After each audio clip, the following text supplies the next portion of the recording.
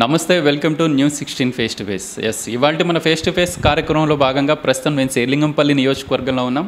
మీ అందరికీ తెలుసు తెలంగాణ రాష్ట్రంలో జీహెచ్ఎంసీ ఎన్నికల హడావిడి మొదలైపోయింది. ఈ నేపథ్యంలోనే అందరూ నాయకులు ప్రజల వద్దకు వెళ్తూ ఉన్నారు గల్లీ గల్లీ తిరుగుతూ ఉన్నారు వాళ్ళ సమస్యలు తెలుసుకునే ప్రయత్నం చేస్తూ ఉన్నారు. అయితే ప్రస్తుతం మనం కొండాపూర్ డివిజన్లో ఉన్నాం. కొండాపూర్ డివిజన్కి సంబంధించి కాంగ్రెస్ యువ నాయకులు మహిపాల్ యాదవ్ ఉన్నారు. మనం చూసాం రెండు రోజుల క్రితం కూడా వరద బాధితుల సాయం సరిగ్గా అందట్లేదు అని చెప్పి ఆయన పోరాటాలను ఉధృతం చేస్తూ వస్తూ ఉన్నారు గత కొద్ది రోజులుగా. మైపాల్ యాదవ్ కేవలం ఎలక్షన్స్ వస్తున్నాయి కాబట్టి హడావిడి చేస్తున్నాడు అని చెప్పి టీఆర్ఎస్ పార్టీ నాయకులతో పాటు ఇతర పార్టీల వాళ్ళు విమర్శలు చేస్తున్నారు నిజంగానే మహిపాల్ యాదవ్ ఎన్నికల స్టంట్లో భాగంగానే ఇవన్నీ చేస్తున్నారా? అడిగి తెలుసుకునే ప్రయత్నం చేద్దాం. నాతో పాటు మహిపాల్ యాదవ్ ఉన్నారు. సార్ ముందుగా నమస్తే. ఏదైతే మహిపాల్ యాదవ్ అనే వ్యక్తి ప్రతి గల్లీలో కనిపిస్తూ ఉన్నాడు గత కొద్ది రోజులుగా. ఎలక్షన్ స్టంట్లో భాగమే ఉత్తిగా హడావిడి చేస్తున్నాడు అని చెప్పి టీఆర్ఎస్ పార్టీ నాయకులతో పాటు మిగిలిన పార్టీల నాయకులు చెప్తున్నారు. నిజంగానే హడావిడి చేస్తున్నారా? లేదు లేదు. నేను ఒక విషయం చెప్పదలుచుకున్నాను. నేను ఎలక్షన్ స్టంట్ అనేది కాదు. నేను గత కోవిడ్ కంటే ముందు నుంచి కూడా నేను ప్రజల కోసం పోరాడుతూనే ఉన్నాను. ప్రజలు ఒకటే కోరుకునేది ఏంటంటే నేను అక్కడికి వస్తే ఆ సమస్య సాల్వ్ అవుతుందనే ఒక నమ్మకం వాళ్ళకు ఉన్నది. దానికోసం అని చెప్పి నన్ను నా ఇంటికి వచ్చి వాళ్ళు ఇన్వైట్ చేసినప్పుడు నన్ను పిలిచినప్పుడు నేను పోకపోతే నేను ఎందుకు లీడర్ని అవుతాను? నేను ప్రజల కోసమే బతుకుతున్నాను. ఇప్పటికీ ఎంతోమంది నన్ను ఎంది అనుకున్నా కానీ నేను చేసే పని నేనే చేస్తాను. మీ అందరికీ తెలుసు జీహెచ్ఎంసీ ఎన్నికల హడావిడి మొదలైపోయింది. మీరు ఎలా రోడ్ల మీదకి వెళ్తూ ఉన్నారో ఇతర పార్టీల నాయకులు కానివ్వండి అధికార పార్టీ నాయకులు కూడా వెళ్తూ ఉన్నారు. ముఖ్యంగా ఏదైతే మొన్న పెద్ద ఎత్తున వర్షాలు పడినాయి ఈ వర్షాలు పడిన తరువాత ముంపు బాధితులకు పదివేల రూపాయల సాయం పేరుతో అందరికీ అధికార పార్టీ నాయకులు ఇస్తూ ఉన్నారు. మీరు బాగా హడావిడి చేస్తూ ఉన్నారు. రచ్చరచ్చ చేస్తూ ఉన్నారు కొండాపూర్ డివిజన్లో గల్లీల్లో అని చెప్పి ఒక మాట వినిపిస్తూ ఉంది. ఏంటి వాళ్ళ పని వాళ్ళు చేసుకొని ఇవ్వచ్చు కదా? ఎందుకు రచ్చ చేస్తున్నారు అంటే ఏం చెప్తారు? నేను ఒకటే విషయం చెప్పదలుచుకున్నాను. నువ్వు నిజంగా ముంపు బాధితులు ఉంటే ఖచ్చితంగా ఇవ్వు. కానీ నీ టీఆర్ఎస్ పార్టీ నాయకులు ఎవరికైతే అనుకూలంగా ఉన్నారో వాళ్ళకి పైసలు ఎందుకు ఇవ్వాలా? నువ్వు అదే చెప్తున్నాను నువ్వు అదే గవర్నమెంట్కి అదే మంచి ఉద్దేశం పబ్లిక్ పైన ఉంటే ఎవరైతే నిజంగా గురయ్యారో వాళ్ళకి డబ్బులు ఇవి నేను ఒప్పుకుంటాను. కానీ నువ్వు టీఆర్ఎస్ లీడర్లను పెట్టి నువ్వు ఏది రా ఇది ఇది ఎలక్షన్ ఫండా ఏమన్నా? ప్రజల కోసమే కదా ఏదైతే మునిగిరు కాబట్టి ఏదైతే ముంపు ప్రాంతాల్లో ఉన్నారు కాబట్టి వాళ్ళకి డబ్బులు ఇవ్వాలని చెప్పి గవర్నమెంట్ అనౌన్స్ చేసిన డబ్బులు అవి. మరి మీరు ఈరోజు ఏం చేస్తున్నారు? ఒక టీఆర్ఎస్ నాయకులని వాళ్ళని ఎంబడి పెట్టి వాళ్ళకి నచ్చిన వాళ్ళకి డబ్బులు ఇచ్చుకుంటా నచ్చిన వాళ్ళకి డబ్బులు ఇవ్వకుండా వెళ్ళిపోతున్నారు. మరి దీని విషయాన్ని ఎవరు ప్రశ్నించాలో అపో అపోజిషన్ పార్టీస్ కంపల్సరీ ప్రశ్నించాలి కదా దీని విషయంలో. ఖచ్చితంగా నేను దాన్ని ప్రతి ఒక్క వ్యక్తికి ఎవరైతే ముంపు ప్రాంతాలు ఉన్నారో వాళ్ళైతే ప్రతి ఒక్కరికి ఇప్పించేదాకా మాత్రం నేను ఒప్పుకునేది లేదు. ఇప్పించి తీరుతా ఖచ్చితంగా. వాళ్ళు ఏదై ఎన్ని ఎన్ని ఏదైనా ఇప్పటికీ నా మీద ఎన్నో కేసులు చేశారు నేను చేసినాక తయారున్నా. ఇంకా ఇప్పుడు కాదు ఇంకో వంద కేసులు చేయడానికి కూడా తయారున్నా. అంటే టీఆర్ఎస్ పార్టీ నాయకులు చెప్పేది ఏంటంటే ఖచ్చితంగా కొంత టైం తీసుకుంటాము టైం పడుతుంది అందరికీ డబ్బులు ఇవ్వటానికి. ఈ లోపులోనే గల్లీల్లో జనాలను గ్యాదర్ చేసుకొని ధర్నాలని రాస్తా రోకోలని ఈ హడావిడంతా ఎందుకు అనేది వాళ్ళ ప్రశ్న. నేను ఒక విషయం నేను ఒక విషయం చెప్పదలుచుకున్నాను. మునిగింది ఇదొక్కతానే కదా రాష్ట్రం మొత్తం మునిగింది. ఇప్పుడు అదే వరంగల్ వరంగల్లో కూడా మునిగిపోయింది అంతకుముందుకి. మరి ఆడ గుర్తుకు రాలేదా ప్రజలు? ఓన్లీ జిహెచ్ఎంసీ ఎందుకు గుర్తుకొచ్చింది ఈరోజు? జిహెచ్ఎంసీ ఎందుకు గుర్తుకొచ్చింది? ఈరోజు జిహెచ్ఎంసీలో తెలంగాణ టీఆర్ఎస్ పార్టీకి ఈరోజు చాలా వ్యతిరేకత వ్యతిరేకంగా ఉన్నారు పబ్లిక్. ఎందుకంటే కోవిడ్ టైం నుంచి ఇప్పటి వరకు కూడా ప్రజలకు చేసింది వీళ్ళకి సున్నా. వీళ్ళు వ్యతిరేకంగా ఉన్నారు కాబట్టి ప్రతి ఒక్క ఇంటికి వీళ్ళు మునగని మునగకపోని ఏదైనా కానీ ప్రతి ఒక్కరింటికి పోతున్నాడు పదివేలు ఇచ్చి వస్తున్నాడు మరి ఇదేం న్యాయం? నువ్వు ఇస్తాను ప్రజలకు ట్యాక్సులు కట్టిన డబ్బులు అవి ఇవి ఏ రకంగా ప్రజలకు నువ్వు ఇవ్వాల్సింది మంచి పనుల కోసం యూజ్ చేయి. నువ్వు ఇప్పుడు ఇన్ని రోజులు ఐదు సంవత్సరాలు అయ్యే కార్పొరేటర్లు గెలిచి ఇప్పటికి రెండు సార్లు ఎమ్మెల్యేలు గెలిచారు మీ ఎమ్మెల్యేలు. ఏమీ అభివృద్ధి చేయకుండా ఈరోజు ఎలక్షన్లు రాగానే ఏదో ఒక స్కీమ్ తీసుకురావాలా వాళ్ళని మభ్యపెట్టాలా ఓట్లు వేయించుకోవాలి మళ్ళీ ముందుకు పోవాలా? ఇదేనా రాజకీయం? ప్రజల కోసం ఏం చేస్తున్నట్టు టీఆర్ఎస్ పార్టీ? మీరు ఒకసారి నాతో పాటు రండి మీరు కూడా నాతో పాటు మొన్న వచ్చిర్రు. చూసి ఆడ పరిస్థితులు ఎలా ఉన్నాయో. ఒక డ్రైనేజ్ చక్కగా ఉండదు ఒక రోడ్ చక్కగా ఉండదు ఒక పింఛన్లు చక్కగా రావు. మరి అవన్నీ ముందు నుంచి చేసుకుంటూ వస్తే ఈరోజు ఈ పరిస్థితి నీకు వచ్చేది కాదు కదా? ఎవరైతే నిజంగా బాధితులు ఉన్నారో వాళ్ళకి బంచు నేను వద్దంటలేను. కానీ ఎవడు పడితే వానికి ఎవడొస్తే వానికి వానికి ఏంది? అవసరమేముంది ఇదా రాజకీయం చేయడం. ఏమనంటే మళ్ళీ అపోజిషన్ పార్టీస్ అదే అన్నారు ఇది అన్నారు మైపాల్ ఏదో రోడ్ మీదకి వచ్చిండు అది చేసిండు ఇది చేసిండు అంటే ఏం సంగతి ఇది? సార్ మైపాల్ గారు ఇంకొక ప్రశ్న. నేను నిన్న కూడా మిమ్మల్ని అడిగాను. ఏదైతే ఈ పదివేల సాయంలో కూడా కేవలం శేర్లింగంపల్లి నియోజకవర్గమే కాదు మీరు టీవీలో చూస్తూ ఉన్నారు బోయినపల్లి కానివ్వండి చందానగర్ కానివ్వండి బోరబండ కానివ్వండి సనత్ నగర్ కానివ్వండి. ఇక్కడ పదివేల రూపాయల పేరుతో వాళ్ళ దగ్గర ఓటీపీలు తీసుకొని వాళ్ళ పేర్లు నమోదు చేసి రెండు వేలు మూడు వేలు ఇస్తున్నారు. మిగిలిన డబ్బులు ఎక్కడికి పోతున్నాయి అనేది జనాల ప్రశ్న. ఏం చెప్తారు? నేను ఒకటే విషయం చెప్తున్నా క్లియర్గా ఉంది ఆడ ఇప్పుడు ఒక సిద్దిక్ నగర్ ప్రాంతం కొండాపూర్ డివిజన్లో సిద్దిక్ నగర్ ప్రాంతం వార్డ్ మెంబర్ అనే ఒక గౌరీ అనే ఉంది. ఆమె ఇంట్లోకి పిలిపించుకొని ఆధార్ కార్డులు ఫోన్ నెంబర్లు పిలిపించుకొని ఇంట్లో ఎంట్రీ చేయించుకొని ఒక్కొక్క వ్యక్తికి ఏం చేస్తుందంటే ఆ ఇంట్లో ఐదు ఆరు మంది ఉన్న టీఆర్ఎస్కి సంబంధించిన వాళ్ళు ఐదు మంది ఉన్న ఐదు మందిని ఇంట్లోకి పిలుచుకుంటుంది. పిలుచుకొని వాళ్ళ ఇంటి నెంబర్ డిఫరెంట్ డిఫరెంట్ నెంబర్స్ వేసేసుకొని వాళ్ళు ఒక్కొక్క వ్యక్తికి మూడు వేల రూపాయలు అంటే వీళ్ళు లెక్క చూపించేదేమో పదివేలు కానీ మూడు వేలు మూడు వేలు ఇచ్చి ఏడు వేల రూపాయలు ఈ టీఆర్ఎస్ నాయకుల జోబులకు పోతున్నాయి. మరి దీంట్లో వార్డ్ మెంబర్ ఇది చేస్తే మరి వార్డ్ మెంబర్ నుంచి ఈ వార్డ్ మెంబర్ తర్వాత ఇప్పుడు కార్పొరేటర్ జోబులకు పోతున్నాయా? మరి ఎమ్మెల్యే గారి జోబులోకి పోతున్నాయా? మరి ఎవరికి ఎవరికి ఈ లెక్కలంతా ఎవరు తేలాలి తేల్చాలా? మరి ఇంత పెద్ద పెద్ద మాటలు చెప్తాడు. ఎవరైతే లంచాలు తీసుకుంటే చెప్పు తీసుకొని కొట్టాలని చెప్పి ఏమే సీఎం గారు పెద్ద పెద్ద మాటలు చెప్తాడు. కదా మరి ఈరోజు నీ వార్డ్ మెంబర్ చేస్తుంది నేను ప్రూవ్ చేస్తా. ప్రూఫ్ చేస్తా వస్తారా? ప్రూఫ్ చేస్తా మీ మీ వార్డ్ మెంబర్ని చెప్పు తీసుకొని కొడతారా మరి? చెప్పండి. అంటే మైపాల్ గారు ప్రస్తుతం మనం కొండాపూర్ డివిజన్లో కూర్చొని మాట్లాడుకుంటూ ఉన్నాం. అత్యంత వేగంగా అభివృద్ధి చెందుతున్న ప్రాంతాల్లో కొండాపూర్ డివిజన్ ఒకటి మనకు కనపడుతూ ఉంది. వందల వేల కోట్లతో అభివృద్ధిని పరుగులు పెట్టిస్తున్నామని స్థానిక కార్పొరేటర్ హమీద్ పటేల్ గారు చెప్తున్నారు. అసలు ఏంటి స్థానికుడిగా చెప్పండి నిజంగానే అభివృద్ధి పరుగులు పెడుతుందా అంటే ఏం చెప్తారు? నేను ఒక విషయం చెప్పదలుచుకున్నాను.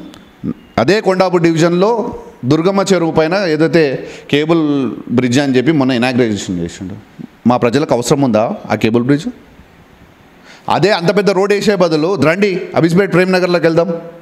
మార్తాండ నగర్లో వెళ్దాం. అవే రోడ్ల పరిస్థితి ఏ రకంగా ఉందో చూడండి. డ్రైనేజీలు ప్రతిరోజు పొంగి బొర్లుతూనే ఉంటాయి. అంత దూరం ఎందుకు? కొండ కూడా కొండాపూర్ మార్తాండ నగర్ ఆ, సిద్దిక్ నగర్. రండి మీరు. వర్షాలు పడితే ఇళ్ళల్లో మునిగిపోతున్నారు. వర్షం చిన్న వర్షం పడితే రోడ్లు మునిగిపోతున్నాయి. అంత పెద్ద పెద్ద బ్రిడ్జులు కోట్ల రూపాయలు ఖర్చు పెట్టి వేయాల్సిన అవసరం ఎంత ఏమైనా ఉందా? అభివృద్ధి అనేది రోడ్ల మీద ఉండేదో షోప్టాప్ కోసం చేసేది కాదండి. ప్రజల కోసం చేయండి. నీకు నాలుగు నాలుగు నాలుగు కాలాల పాటు మిమ్మల్ని గుర్తుపెట్టుకుంటారు. ఒక లీడరు మా కోసం ఇది చేసి పెట్టిండు అని చెప్పి. అదే అంతకుముందు భిక్షపతి యాదవ్ గారు ఎన్నో పనులు చేసిండు. అవి ఇప్పటికీ ప్రజల్లోకి వెళ్ళండి. అదే రకంగా వాళ్ళు ఉంటారు. అదే రకంగా వాళ్ళు ఉంటారు అదే రకంగా ఆయన గురించి చెప్తారు. అంటే కాంగ్రెస్ పార్టీ ఏంటంటే ప్రజల కోసం పనిచేస్తుంటుంది. ఈ టీఆర్ఎస్ పార్టీ ఓన్లీ షోప్ పనులు అండర్ పాస్ బ్రిడ్జులు కేబుల్ బ్రిడ్జులు ఏదేదో రోడ్ వైండింగ్స్లు ఫ్లైఓవర్లు వేస్తే ప్ర అభివృద్ధి అయిపోతుందండి. ప్రజల కోసం వాళ్ళు ఉండే దగ్గర వాళ్ళు ఒక ఇజ్జత్తోటి బతికే రోజులు రావాలా? ఎందుకు అంటే వాళ్ళ ఇంటి ముందుకు పోతే గలీజ్గా రోడ్ ఉంటుంది డ్రైనేజ్ పొంగి పొర్లుతుంటుంది. ఏ రకమైన ఈ ఈ రకమైన అభివృద్ధి టీఆర్ఎస్ ప్రభుత్వం ముందు ఉంటుందా ఈ డివిజన్లో ఏ నాయకుడిని ఇంటర్వ్యూ చేసినా మీరు ఈ ప్రశ్నలు అడగాలి అని చెప్పి వాళ్ళు కామెంట్లు పెడుతూ ఉన్నారు న్యూస్ సిక్స్టీన్కి. ఏదైతే ప్రేమ్ నగర్ గలీజ్కి కేర్ ఆఫ్గా మారిపోతూ ఉంది డ్రైనేజీ నీళ్ళు పొంగి పొర్లుతూ ఉన్నాయి తాగే నీళ్ళలో డ్రైనేజీ నీళ్ళు కలుస్తూ ఉన్నాయి ఇదేం దుస్థితి అని వాళ్ళు అడుగుతున్నారు. నిజంగానే ఆ పరిస్థితి ఉందా? ఏం చెప్తారు? హండ్రెడ్ పర్సెంట్ అదే పరిస్థితి ఉంది అక్కడ. ఎందు గురించి అంటే ప్రజలు ఇంత ముందుకు కాంగ్రెస్ ప్రభుత్వం ఉన్నప్పుడు అక్కడ ట్యాక్స్ రాకపోయినా కానీ రోడ్లు వేయడం జరిగింది డ్రైనేజ్ చేయడం జరిగింది అప్పుడు చిన్న చిన్న ఇల్లులు ఉండడం జరిగింది. ఇప్పుడు ఏమైపోయిందంటే అక్కడ పెద్ద పెద్ద బిల్డింగ్లు అధికారుల్లో పర్యవేక్షణ తప్పి పెద్ద పెద్ద బిల్డింగ్లు రావడం జరిగింది. ఇప్పుడు దా అక్కడ డ్రైనేజ్ లైన్లు పెద్ద వేయాల్సిన అవసరం ఎంతైనా ఉంది. ఇంకొక విషయం కూడా ఏంటంటే పైనుంచి వాటర్ కూడా ఎక్కడ నుంచి రాఘవేంద్ర కాలనీ కొండాపూర్ నుంచి కూడా డ్రైనేజ్ లైన్లు మొత్తం మార్తాండ నగర్ ప్రేమ్ నగర్ లోపలికే వస్తాయి.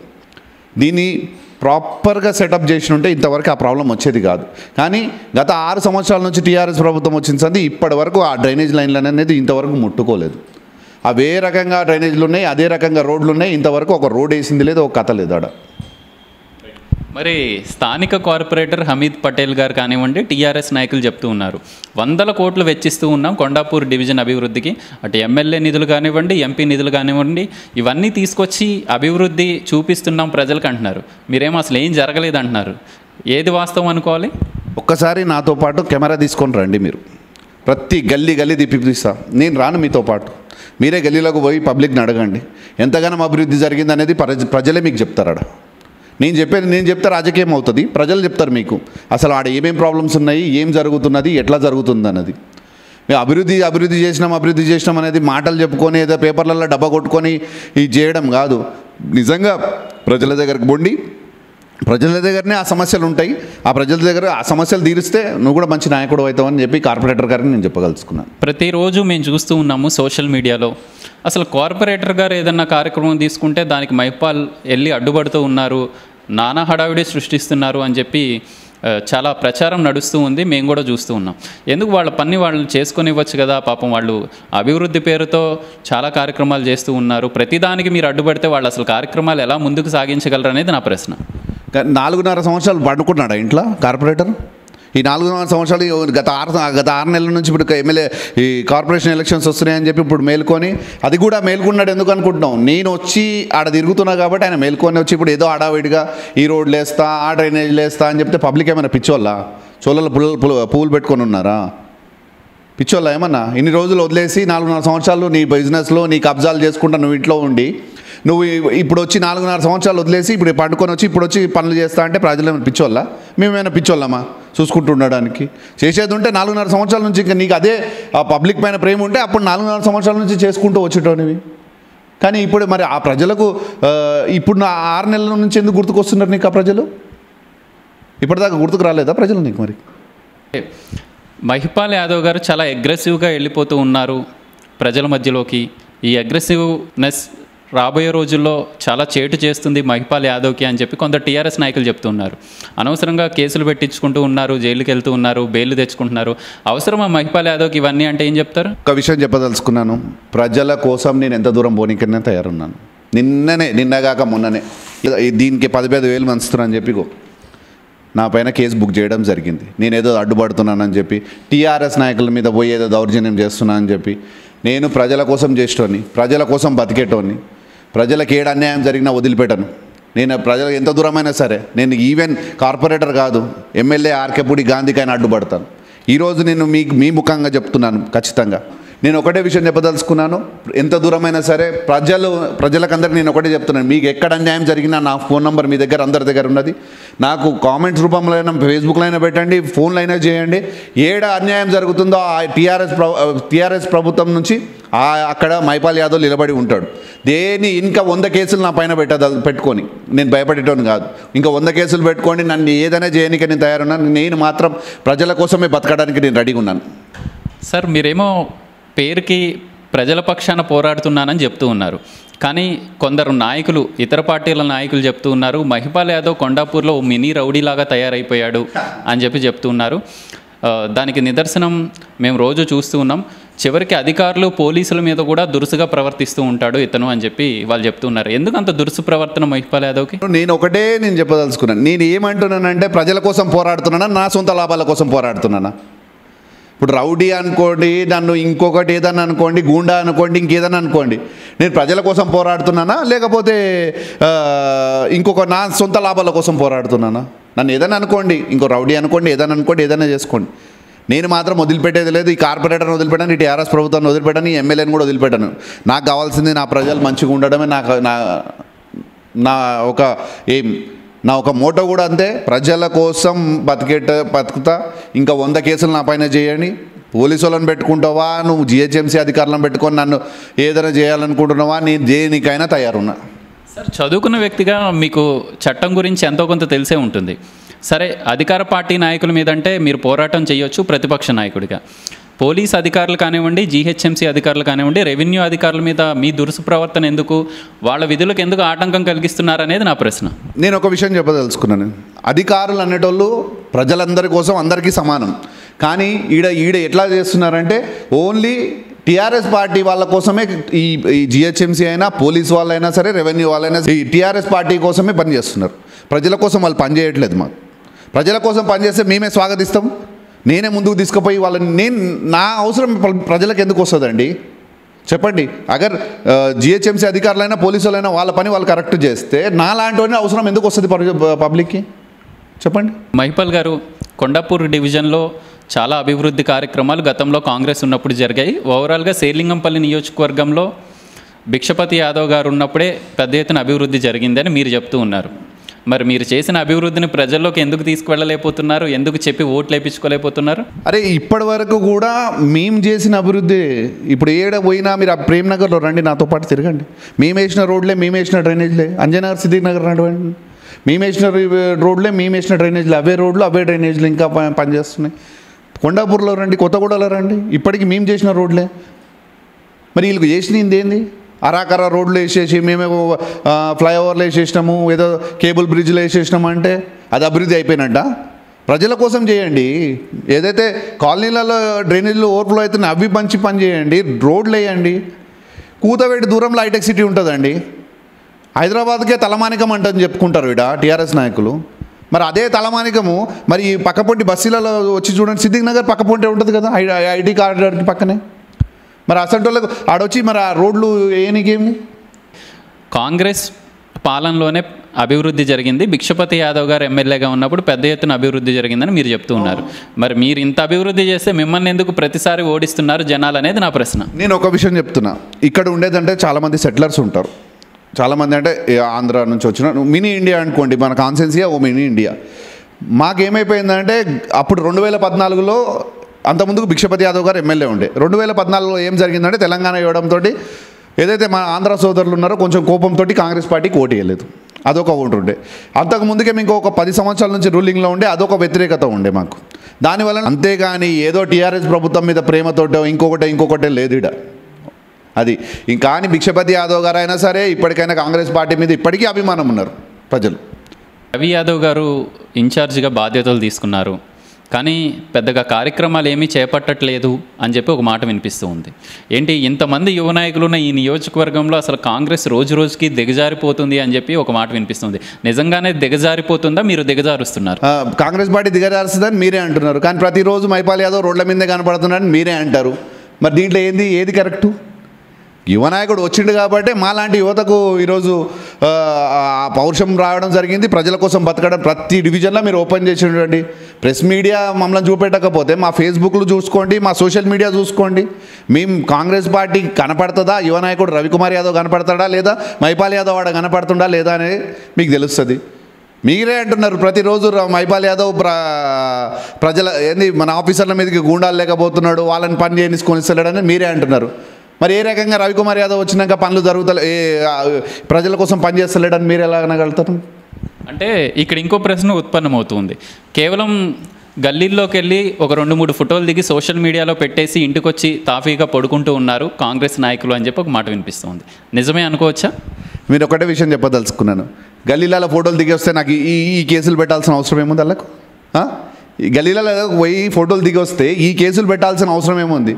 మాతోటి భయపడుతున్నారు కాబట్టి పోలీసు వాళ్ళని ఉపయోగించి ఈ కేసులు నా పైన పెడుతున్నారు. లేకపోతే మా మీద కేసులు ఎందుకు అవుతాయండి? చెప్పండి. అంత భయం పట్టేటోళ్ళు లేకపోతే వాడు రెండు మూడు ఫోటోలు దిగి వచ్చినట్టు షోప్ చేసేటోళ్ళం కాదు మేము. ప్రజల కోసం బతుకుతా ప్రజల కోసమే ఉంటాం ప్రజల కోసమే ఉంటుంది కాంగ్రెస్ పార్టీ ఎప్పటికైనా. సార్ మీరు ప్రజల కోసం బతుకుతాము నిజమైన ప్రతిపక్షం మేమే అని మీరు చెప్తున్నారు. మరి బీజేపీ ఏమో టీఆర్ఎస్ పార్టీకి ప్రత్యామ్నాయం మేమే అని వాళ్ళు చెప్తున్నారు. అసలు శేర్లింగంపల్లి నియోజకవర్గంలో బీజేపీ పాత్ర ఏంటి? ఎక్కడైనా కనిపిస్తున్నారా బీజేపీ నాయకులు? మీరు కూడా అదే గల్లీలో తిరుగుతూ ఉన్నారు. బీజేపీ పాత్ర అనేది బీజేపీ వాళ్ళు ఎంతసేపు మమ్మల్ని చూసి ఎప్పుడు కాంగ్రెస్ పార్టీ వాళ్ళు మైపాల్ యాదవ్ ఎప్పుడు బయటికి వస్తాడా? మళ్ళీ మేము వాళ్ళ ఆయన వెనుక పోయి ఫాలో అయ్యి ఆడ సమస్య ఉందా? మేము మేము ఎట్లా చేస్తుంటే వాళ్ళు అట్లా చేద్దామని ముందుకు పోతున్నారు. కానీ వాళ్ళకేదో సొంతంగా ప్రజలకు మీద ప్రేమ ఉందనో ఇంకోటి చేయాలని చెప్పి వాళ్ళకి లేదు. ఎందు గురించి అంటే టీఆర్ఎస్ బీజేపీ రెండు ఒకటే. వాళ్ళు రెండు కలిసిమెలిసే ఉంటారు. ఏదో మా వాళ్ళు ఎంతసేపు బయట కొట్లాడుకొని కాంగ్రెస్ పార్టీకి ఏదో డ్యామేజ్ చేద్దామని వాళ్ళు అనుకుంటారు కానీ బీజేపీ ఎప్పుడు ఈరోజు ప్రతి ప్రధాన ప్రతిపక్షం మాత్రం కాంగ్రెస్ పార్టీయే బీజేపీకి ఆ సీన్ లేదు ఆ కథ లేదు. సార్ చాలా స్పష్టంగా చాలా ధీమాగా మాట్లాడుతూ ఉన్నారు. పోరాటాల పేరుతో ప్రజల్లోకి వెళ్తూ ఉన్నారు. ఎన్నికలకి ముందు ప్రతి నాయకుడు ఇంతే యాక్టివ్గా అగ్రెసివ్గా పనిచేస్తాడు. ఎన్నికలు అయిపోయిన తర్వాత గెలిస్తేనేమో వాళ్ళ ఆస్తులు పెంచుకుంటూ ఉన్నారు. ఓడిపోతే మళ్ళీ జనాలకు కనపడరు ఐదేళ్ళు అని చెప్పి ఒక మాట వినిపిస్తుంది. మహిపాల్ యాదవ్ది ఏ కేటగిరీ అనుకోవచ్చు ఇందులో? నేను పైసల కోసం పనిచేయను. నాకు పేరు కోసం పనిచేసేటోని. పైసలు కావాలనుకుంటే పేరు అవసరం లేదు. పేరు కావాలనుకుంటే పైసలు అవసరం లేదు. నాకు పేరు కోసం నేను బతుకుతున్నాను. ప్రజలకు ఏదైనా సమ ఏదైనా చేయాలా అనే ఒక ముఖ్య ఉద్దేశంతో నేను ముందుకు రావడం జరిగింది. ఏదో ఈ కుంభకోణాలు చేసి ఇవి ఆడ వాని మీద వసూలు చేసి ఇన్ని మీద వసూలు చేయడానికి నేను రాలేదు రాజకీయాలకు. ప్రజలకు సేవ చేద్దామని వచ్చినాను. దానికోసమే వచ్చినాను. ఇప్పుడు ఒక విషయం చెప్పదలుచుకున్నాను నేను అదే పైసలు డబ్బులు వసూలు చేస్తున్నాను ఉంటే గీ అన్ని కేసులు నా మీద ఎందుకు వస్తాయండి? ప్రజల ఏదో ఉండు మీద ఏదో ఇల్లు కడతా వాని మీద డాగులు వేస్తా. డాగులు వేస్తే వాడు పైసలు ఇయ్యడా నాకు? ఇంత అగ్రెసివ్ పోతుంది నేను వాళ్ళ మీద వీళ్ళ మీద నేను టీఆర్ఎస్ నాయకుల మీద ఎందుకు పోతా? ఏదో ఒకటి దాని మీద పోయి పోతా పైసలు వసూలు చేసుకుని ఇంట్లో అనుకుంటా కదా? కానీ మహిపాల్ గారు మీరు ప్రస్తావించారు కాబట్టి ఈ ప్రశ్న అడగాల్సి వస్తుంది. ఏదైతే కొండాపూర్లో ఆకాశాన్ని అంటే పెద్ద పెద్ద బిల్డింగులు మనకు కనిపిస్తూ ఉన్నాయి అక్రమ బిల్డింగులు పెద్ద ఎత్తున వెలుస్తూ ఉన్నాయి. మీరు మొదటి నుంచి చెప్తూ ఉన్నారు టీఆర్ఎస్ నాయకులే వాళ్ళ దగ్గరికి వెళ్ళి కమిషన్లు తీసుకొని జీహెచ్ఎంసీ వాళ్ళకి పర్మిషన్లు వచ్చేలాగా ప్రయత్నిస్తున్నారని మీరు చెప్తూ ఉన్నారు. కానీ ఇక్కడ నా ప్రశ్న ఏంటంటే కాంగ్రెస్ కానివ్వండి ఇతర ప్రతిపక్ష నాయకులు కూడా సైలెంట్గా ఈ బిల్డర్ల దగ్గరికి వెళ్ళి ఎంతో కొంత తీసుకొని వచ్చి సైలెంట్గా ఉండిపోతున్నారు అని చెప్పి ఇంకో మాట వినిపిస్తుంది. ఇప్పటివరకు మహిపాల్ యాదవ్ ఎంతమంది బిల్డర్ల దగ్గర ఎంత తీసుకున్నారు ఎంత సంపాదించారు? మీరు ఒక విషయం చెప్తున్నాను ఏ కొండాపూర్ కానీ ఎక్కడైనా మీరు కొండాపూర్ డివిజన్లో మొత్తం తిరగండి. ఏ ఒక్క వ్యక్తి మహిపాల్ యాదవ్ పైసలు వసూలు చేసిండంటే నేను రాజకీయాలకి వెళ్ళి తప్పుకుంటా. ఏ ఏ ఒక్క బిల్డింగ్ దగ్గరైనా సరే. ఏ బిల్డర్ దగ్గర నేను డబ్బులు వసూలు చేసినా కానీ నేను రాజకీయాలకు వదిలేస్తా. రాజకీయాలకి వెళ్ళి తప్పుకుంటా. టీఆర్ఎస్ ప్రభుత్వంలో ఉన్న వాళ్ళని దగ్గరుండి గెలిపిస్తా. నేను పైసలు అట్లా వసూలు చేస్తున్నానంటే. అదే నేను ప్రూవ్ చేయగలుగుతాను. కార్పొరేటర్ గారు ఒక్కొక్క బిల్డింగ్కి స్లాబ్కి లక్ష రూపాయలు వసూలు చేస్తున్నాడు ఈరోజు. వాళ్ళ వనచూరులను పెట్టుకొని. నువ్వు రాఘవేంద్ర కాలనీలో మీరు మైక్ తీసుకొని తిరగండి ప్రతి ఇంటికి చెప్తారు మీకు. ఇల్లు కట్టిన దగ్గర ఇల్లు స్లాబ్ వేసింది పునాది వేయడమే లేటు. స్లాబ్కి లక్ష రూపాయలు వసూలు చేస్తున్నారు. ఇవి ఎవరి జబ్బులోకి పోతున్నాయి మరి? కార్పొరేటర్ వెనకాల నుండి నడిపిస్తాడు. వాళ్ళ నాయకులు ముందర పోయి తీసుకొస్తారు. కానీ పాపం ఉదయం నుంచి సాయంత్రం వరకు జనాల మధ్యలో తిరుగుతాను అని చెప్పి స్థానిక కార్పొరేటర్ గారు చాలా ఇంటర్వ్యూలో చెప్తూ ఉన్నారు. అందరూ అనుకుంటున్నమాట వాళ్ళ పార్టీకి సంబంధించి. మీరెందుకు ఆయన మీద అబాండాలు వేస్తూ ఉన్నారు? నిజంగానే కార్పొరేటర్ గారు ఇన్ని కార్యక్రమాలు చేస్తూ ఉన్నారా ఈ కొండాపూర్ డివిజన్లో? ఏం చెప్తారు? నేను నేను నేను చెప్పేది కాదు. మీరు రాఘవేంద్ర కాలనీ రాజరాజేశ్వరి కాలనీ శ్రీరామ్ నగర్ వెళ్ళండి సిద్దిక్ నగర్ అంజయ్ నగర్ వెళ్ళండి. టీఆర్ఎస్ నాయకులు పైసలు వసూలు చేస్తలేరని చెప్పి మీరు అనండి. నేను ఇంకొకసారి కార్పొరేటర్ మీదకి పోను. లే ఇంకొక టీఆర్ఎస్ ప్రభుత్వాన్ని వ్యతిరేక నేను విమర్శించను. నేను వదిలేసుకుంటా రాజకీయాలు. వాళ్ళు పైసలు వసూలు చేస్తలేదంటే. ప్రజలే చెప్తారు మీకు మీరు కెమెరా తీసుకొని వెళ్ళండి. ఇల్లు ఇప్పుడు కన్స్ట్రక్షన్ అయ్యే ఇల్లు దగ్గరికి వెళ్ళండి. లేకపోతే సీక్రెట్గా అడగండి. వాళ్ళు మే కెమెరా ముందర పెడితే చెప్పరేమో. పోయి కనుక్కోండి ఒకసారి చెప్తారు. సార్ మీ వ్యక్తిగత ప్రశ్న అనుకోండి. మీరు ఏమి అనుకోనంటే ఈ ప్రశ్న అడుగుతాను. మీరు అసలు మహిపాల్ యాదవ్ రాజకీయాల్లో కాకుండా బయట ఏం బిజినెస్ చేస్తారు? ఆయన పెద్ద ఆయన వెనక పెద్ద ఎత్తున మంది మార్బలం ఉంటుంది. మందు పార్టీలు పెద్ద ఎత్తున జరుగుతాయి. చక్కగా పార్టీలు ఇస్తూ ఉంటారు. ఎవరైతే మీ దగ్గరకు వచ్చే యువకులు ఉంటారో వాళ్ళందరికీ ఏది కావాలంటే అది ఇస్తూ ఉన్నారు అని చెప్పి ఒక మాట వినిపిస్తుంది. అసలు మైపాల్ యాదవ్ ఏం చేస్తారు? రాజకీయాలు కాకుండా అంటే ఏం చెప్తారు?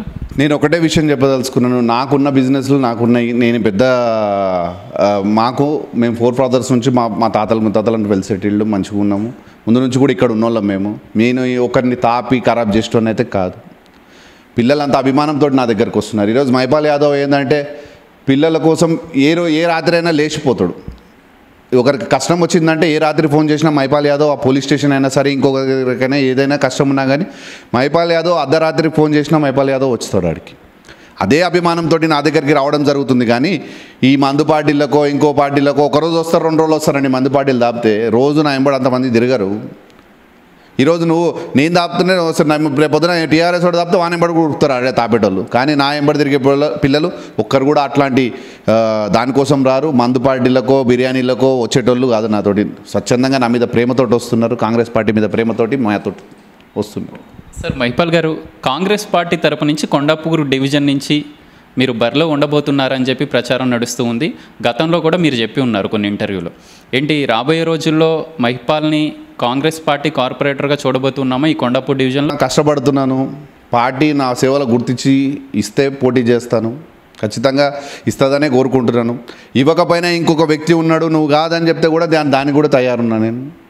ఖచ్చితంగా పార్టీలో కష్టపడుతున్నాను ప్రజల కోసం కష్టపడుతున్నాను. ఇస్తే హండ్రెడ్ పర్సెంట్ పోటీ చేస్తాను. ప్రజలందరూ కూడా కోరుకుంటుంది అదే మైపాల్ యాదవ్ అయితేనే ఈడ కరెక్ట్ క్యాండిడేట్ టీఆర్ఎస్ వాళ్ళకి అని చెప్పి ప్రజలే చెప్తున్నారు. అందుకోసం కానీ ప్రజలు ప్రజలు ఏది కోరుకుంటే అది చేయడానికి నేను తయారున్నాను. కానీ మీ పార్టీలోనే ఆఫ్ ద రికార్డ్ ఒక మాట వినిపిస్తుంది చాలామంది సీనియర్లు ఉన్నారు శ్రీలింగంపల్లి నియోజకవర్గం కానివ్వండి ఈ కొండాపూర్ డివిజన్లో. వీళ్ళందరినీ కాదని అగ్రెసివ్గా ఉన్న మహిపాల్ యాదవ్కి టికెట్ ఇస్తే రాబోయే రోజుల్లో పార్టీ ఇబ్బందుల్లో పడుతుంది అని చెప్పి మీ పార్టీలో సీనియర్లే అనుకుంటున్న మాట వాస్తవం కాదా? వాస్తవాలు కొన్ని ఉండొచ్చు కానీ నేను అదే నేను అనేది ఏంటంటే పార్టీ కోసం పనిచేయడానికి టికెట్లు ఇవ్వాలి? వద్దని అనట్లేదు సీనియర్స్ ఒకవేళ పోటీ చేస్తా అంటే నేను వద్దనట్టు ఏం లేదు. రమ్మనండి కష్టపడండి ప్రజల్లో. కష్టపడినోనికి టికెట్ ఇవ్వండి న్యాయం చేయండి కాంగ్రెస్ పార్టీలో.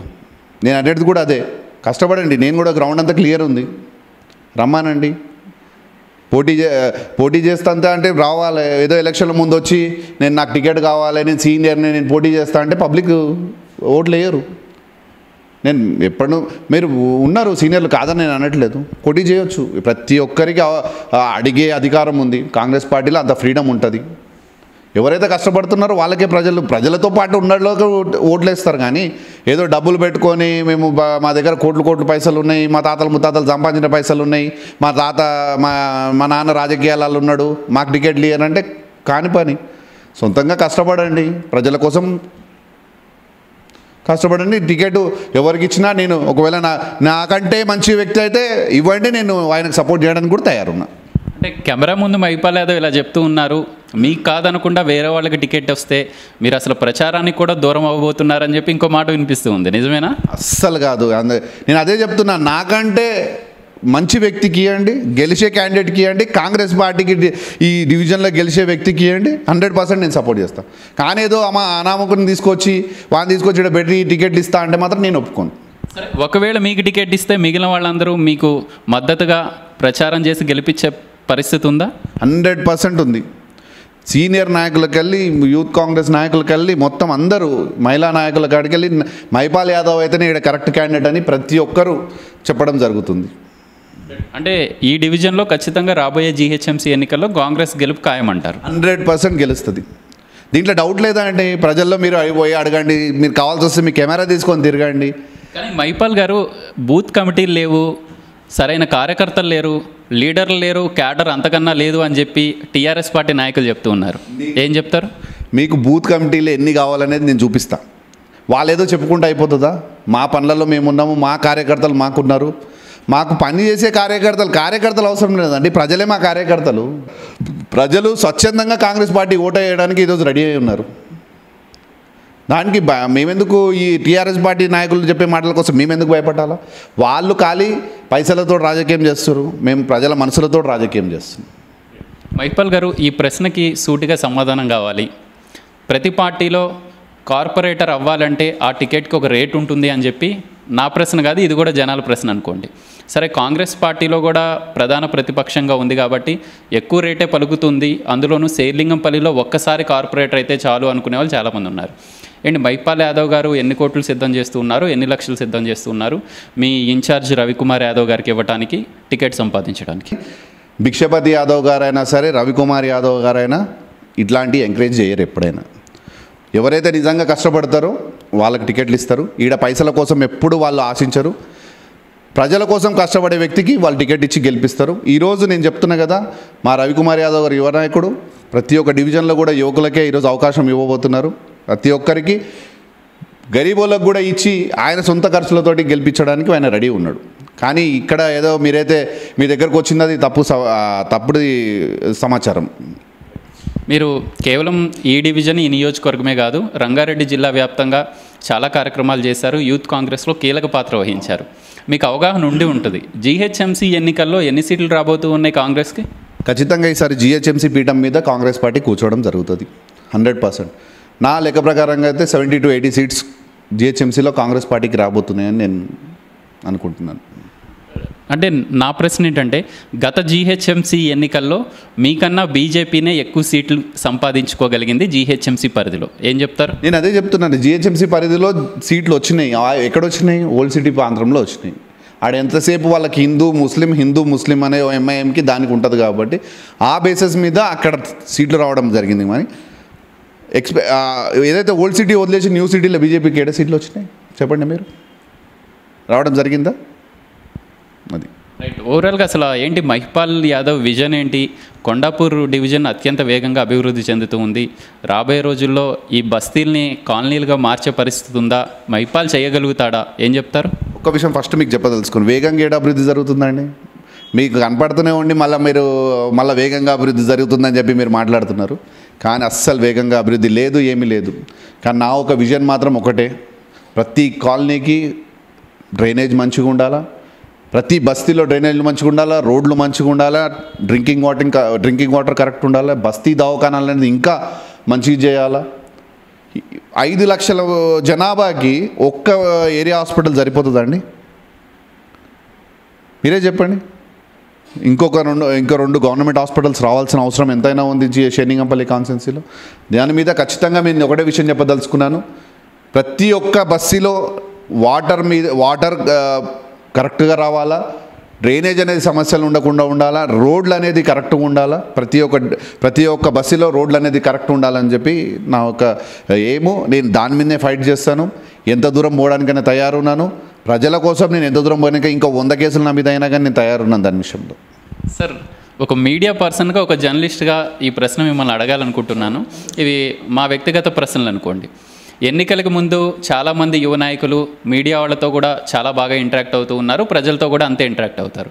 మీరు గెలిచిన తర్వాత ఒకసారి కార్పొరేట్ అయిన తర్వాత మీకోసం మీ గేటు బయట మేము వెయిట్ చేయాల్సిన పరిస్థితి. ప్రజలు కూడా అదే పనిలో ఉన్నారు. రేపు రాబోయే రోజుల్లో మహిపాల్ గారిని కలవాలంటే మేము కూడా గేటు బయట అందరినీ బతిమలాడుకుంటూ నిలబడాలా? ఏం చెప్తారు? నేను అట్లాంటి వ్యక్తినే కాదు నేను ప్రజల కోసం ఉండేటోని ప్రజల అలా బతికేటోని మిమ్మల్ని ఎందుకు ఇబ్బంది పెడతాను? ఇప్పుడు ఎట్లనో నేను ఎప్పటికీ అట్లనే ఏదో అధికారం ఈరోజు వస్తుంది ఐదు సంవత్సరాలు ఉంటుంది అధికారం ఆ తర్వాత పోతుంది ఆ తర్వాత అయితే మళ్ళీ రావాల్సిందేగా ప్రజల్లోకి నేను. ఆ రకంగా నేను ఎప్పుడు రాజకీయం చేయను నేను రాజకీయాల నుండి కూడా ప్రజల కోసమే ఉన్నాను. అందరికీ సమానంగానే ఉంటాను మీరు ఎలా ఉంటారో నేను అలానే ఉండగలుగుతాను. ఇంకొక ప్రశ్న మీ కమ్యూనిటీకి సంబంధించి ఎవరైనా పేదవాళ్ళు వచ్చినా మీ కమ్యూనిటీకి సంబంధించిన యువకులు వస్తే వాళ్ళకి చాలా ఈజీగా రెస్పాండ్ అవుతూ ఉంటారు. కమ్యూనిటీ మీద చాలా ఎనలేని ప్రేమ ఉంది మహిపాల్ యాదవ్కి. మిగిలిన వాళ్ళు స్థానికులు కాదా స్థానిక ఓటర్లు కాదా స్థానిక ప్రజలు కాదా అని చెప్పి ఒక మాట వినిపిస్తుంది. ఎందుకు నిజంగానే అదే వేలో వెళ్తూ ఉన్నారా మహిపాల్ యాదవ్? నా కమ్యూనిటీకి ఇంట్రాక్షన్ కాదు. ఇప్పుడు ఒక ముస్లిం మహిళ ఒక చిన్న అమ్మాయి పేగు అదే పుట్టగానే ఆ అమ్మాయికి డైజెషన్ సిస్టమ్ ప్రాబ్లం వచ్చింది. ఇమీడియట్గా నాకు కాల్ రావడం జరిగింది. నేను బసన్ చెన్నై సికింద్రాబాద్ హాస్పిటల్లో ఉన్నారని చెప్పి ఫోన్ చేసిరు ఆ ముస్లిం అబ్బాయి ఇమ్రాన్ అని చెప్పి. నేను ఇమీడియట్గా ఇక్కడ నుంచి విత్ ఇన్ హాఫ్ అన్ అవర్లో అక్కడికి వెళ్ళి ఆ పిల్లగానికి పైసల సహాయం చేసేసి వచ్చిన. ఎందుకు గురించి చేసిన? ఆ ముస్లిం ఆ వ్యక్తి ఏమైనా నా కమ్యూనిటీకి సంబంధించిన వ్యక్తి? ముస్లిం వ్యక్తే కదా? ఎందుకు చేసినా? ముస్లిం వ్యక్తి మరి నా కమ్యూనిటీకి సంబంధించిన వ్యక్తి? ఇంకొక విషయం మొన్న ఒక ఒక అతనికి కాల్కి ఆపరేషన్ చేయించమని చెప్పిండు. ఎవరు? ఆ- వ్య- ఆ వ్యక్తి ఎవరు అనుకుంటాం క్రిస్టియన్ వ్యక్తి. మరి ఆయనకి ఎందుకు నేను చేయించిన ఆయన ఏమైనా నా కమ్యూనిటీకి సంబంధించిన వ్యక్తి? మన ఇంకొక విషయం నేను శ్మశాన వాటికలో బోర్ వేయించిన. ఎమ్మెల్యే కార్పొరేటర్ గారిని అడిగితే వాళ్ళు వేపించకపోతే నేను వేయించిన. అది ముస్లిం శ్మశాన వాటిక. నేను ఎందుకు వేయించిన? నా కమ్యూనిటీకి సంబంధించిందా? ఇంకొక శ్మశాన వాటికల్లో ట్యాంక్ కట్టించిన బాత్రూమ్లు కట్టించిన అక్కడ ఇబ్బంది ఉందని చెప్తే? అది క్రిస్టియన్స్ హిందూస్ అన్ని కమ్యూనిటీస్కి అక్కడికే వస్తారు ఫైనల్గా. మరి వాళ్ళు అక్కడ చేసిన మరి అది నా కమ్యూనిటీకి సంబంధించిందా? ఎందు గురించి చేసినాను ఇవన్నీ? నా కమ్యూనిటీ లాక్డౌన్ టైంలో కూడా మేము చూసాము లక్షల రూపాయలు ఖర్చు పెట్టి చాలా కార్యక్రమాలు చేశారు. చాలామంది కడుపులు నింపే ప్రయత్నంలో మీరు ఒక భాగం అయ్యారు ఎన్ని లక్షలు ఖర్చు అయినాయి? ఏం చెప్తారు? దాదాపుగా నమస్తే తెలంగాణ పేపర్ వాళ్ళకు లెక్క ప్రకారంగానే పదిహేడు లక్షలు అప్పటికే ఖర్చు పెట్టిన. కానీ దాని తర్వాత నాకు ఇంకొక పది లక్షలు ఎక్స్ట్రా ఖర్చు అయినాయి. అప్పుడు కూడా గవర్నమెంట్ ఫెయిల్ అయింది కాబట్టి నేను ప్రతి ఒక్క వ్యక్తికి యా ఇక్కడ యూపీ కానీ బీఆర్ కానీ ఎక్కడ ఏ ప్రాంతం వ్యక్తులు ఉన్నా వాళ్ళందరికీ సాయం చేయడం జరిగింది.